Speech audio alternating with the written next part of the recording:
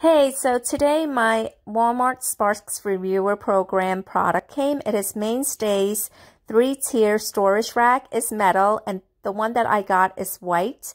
Um, it was smaller than I thought it would be. I was expecting it to be bigger. The product dimension, um, it'll list, you know, the, the size, the width, and the length. Um, but I I didn't actually look at it. so um, it, it, it is small. It's not very big.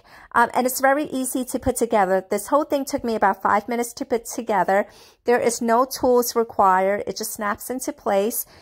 And um, this is something that I, I have something similar to this in my downstairs bathroom.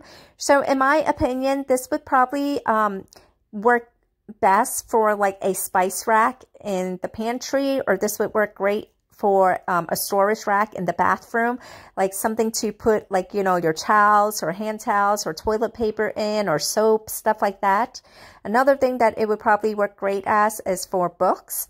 If you have like, you know, if you're in a like like a dormitory or if you're somewhere with limited space, this will also be great for like um, holding your books. This will also be a great storage rack for like somebody with a small office or like a cubicle or something like this or, or something like that. So right now I'm using it for my baby.